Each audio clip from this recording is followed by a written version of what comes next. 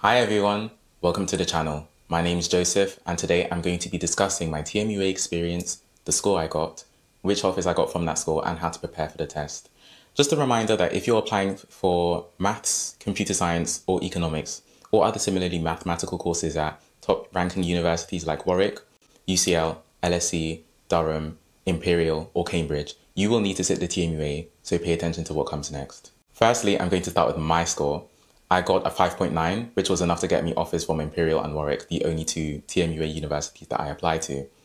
A 5.9 is roughly equal to a 7.0 from 2023 and before. They changed the scores in 2024, so before I assume people would aim for 7.0, and universities would expect a 6.5 or above. A 6.5 is now roughly a 5.0 in 2024 and after. If you want to understand the breakdown of the changes they made, I found a video that I've linked down below in the description from Vantage Admissions that you might want to watch. Now, the best and pretty much the only way to prepare for the TMUA is by completing practice questions. I'd recommend looking for some practice questions online as there are many more resources now than there were maybe three or four years ago. In terms of past papers specifically, there is a limited number of past papers, so you need to be strategic with them and not waste them too soon. If you haven't started revising for the TMUA and it is the 18th of August, what are you doing? You need to start immediately. I started around the start of August and I still got a 5.9 and I still got an Imperial Maths offer. So it's definitely possible, but you just need to be focused and consistent with your practice. The first thing I did was look through the specification. When I started my preparation for the TMUA, I made sure to get the specification from the website and put it in an Excel spreadsheet. Then I went through every single point in the specification and read through it before completing a practice question and everything, just to make sure I understood the basic idea. If there was something I didn't understand or hadn't learnt yet, I tried to self-teach that. For example, sequences and series is a year two A-level maths topic, so most people won't have learned it by the time they sit the TMUA if they do the exam in October. If you're looking for support with the TMUA, the first channel I would watch is R2Drew2, because if you don't, then you should be, because he has the most comprehensive set of resources and videos for the TMUA out of everyone I've seen on YouTube.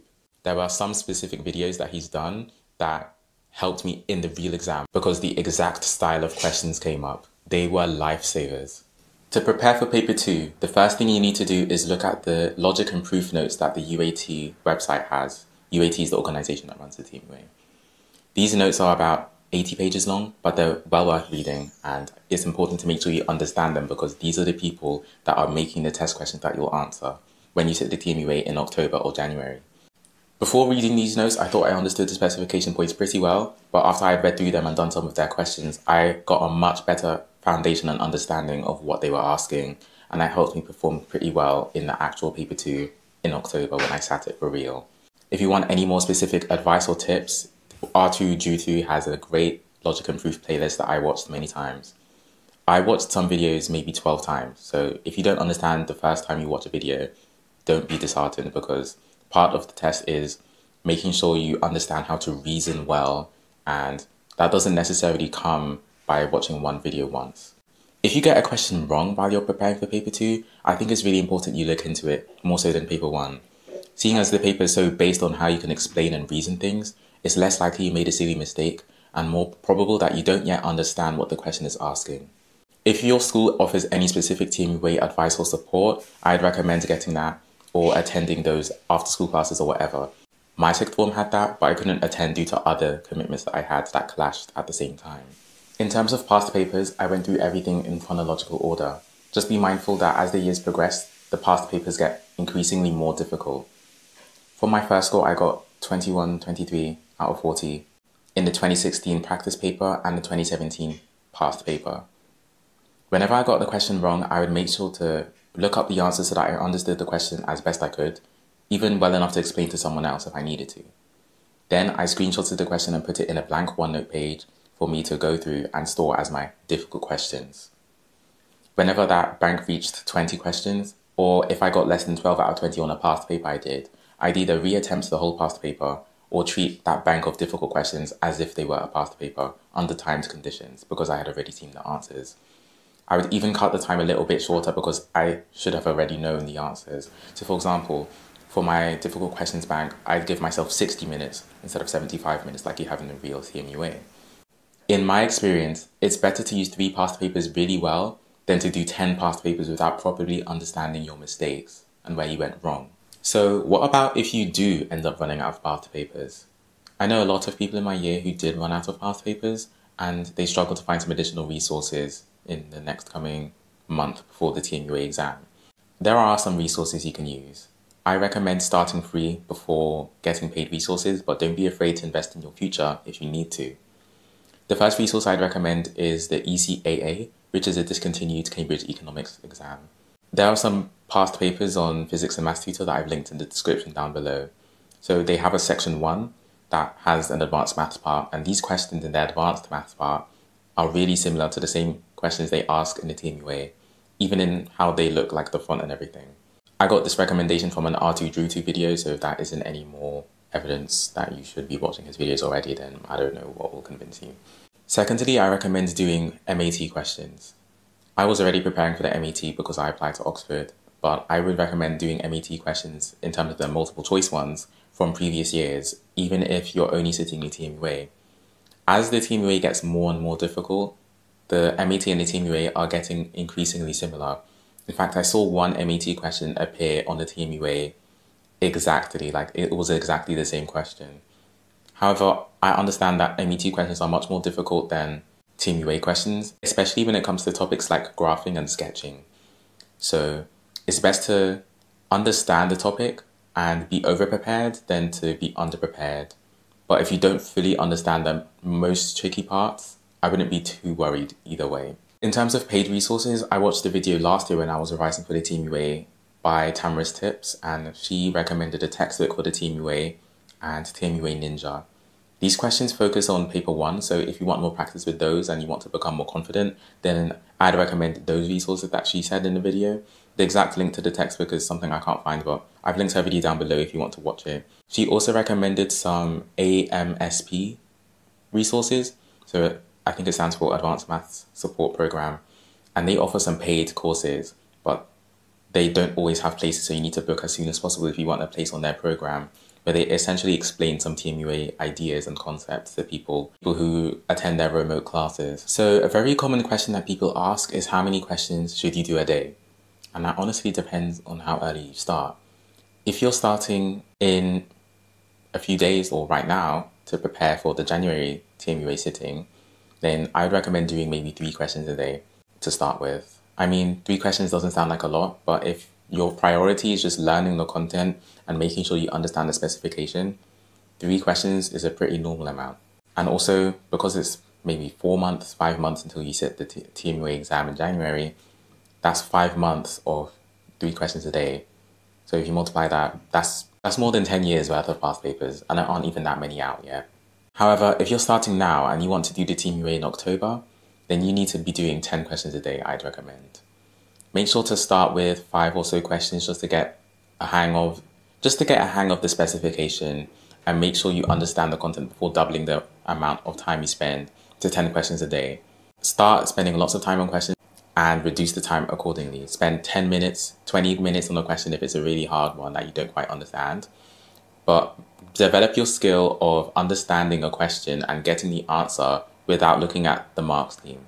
Because this problem solving ability is what you need to solve the most difficult surprise TMUA questions at the end that you might not have seen before and that you might not understand at first glance.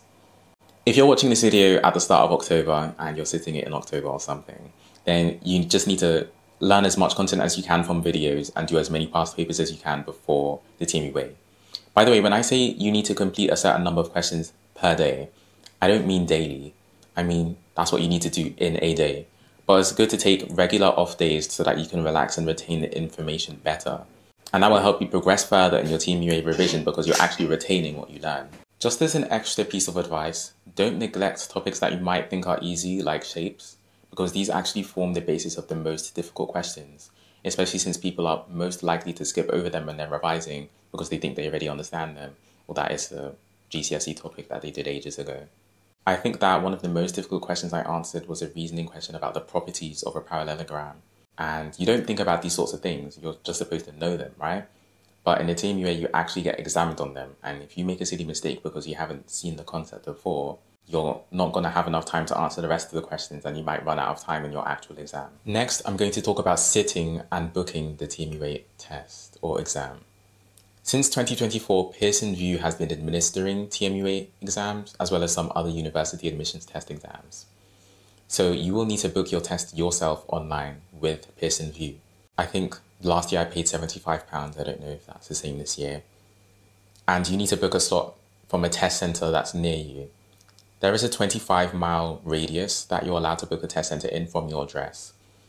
I booked my TMUA exam at the end of August and there were hardly any spaces available, so I almost didn't get a slot to sit the exam. And I had to go travel for nearly two hours in order to do it.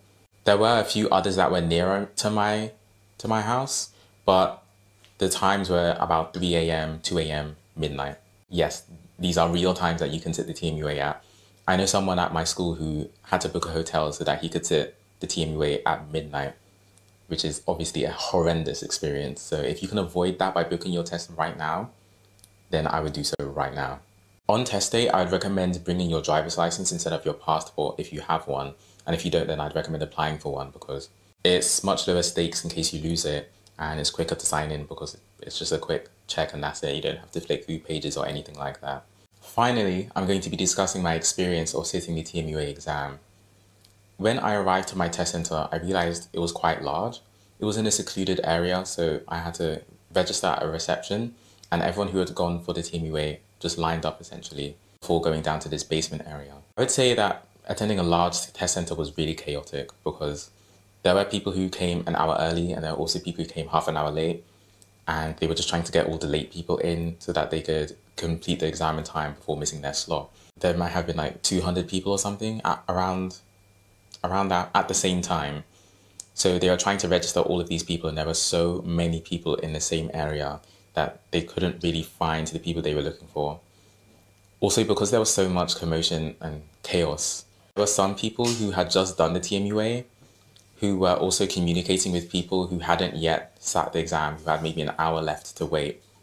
Um, that kind of stressed me out. So I sat in the corner. I think there were a few seats in my test center near some office that was there mm. because it was a, it was a test center, yes, but it was also some sort of a business office. So I sat in those seats and I kind of just ate a snack beforehand, trying to remember everything. If you're traveling far, I would recommend having a snack as well, just because it's it's a very grueling experience. Yeah. Right before I sat the TMUA, they gave me some laminated paper, a whiteboard pen, and three baby wipes to wipe away the whiteboard pen.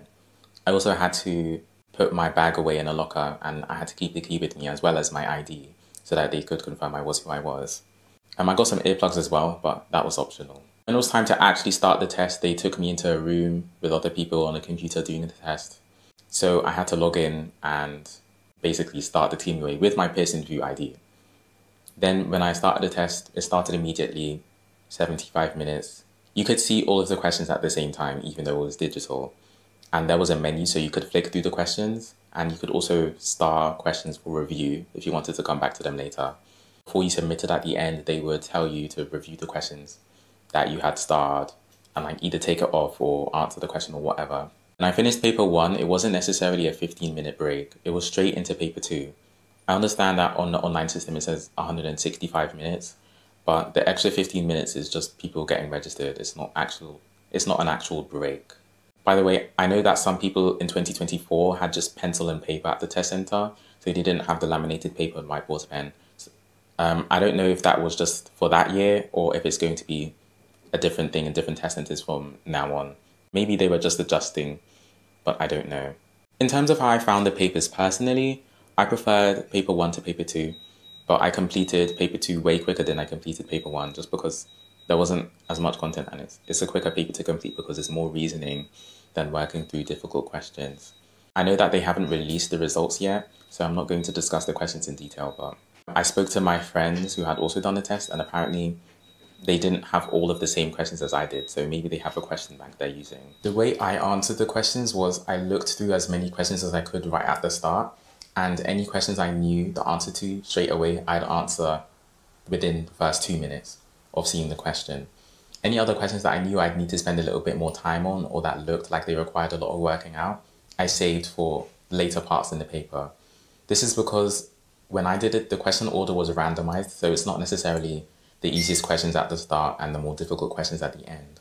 This is why you need to be incredibly resourceful with your time and understand which questions will require more time by having done practice.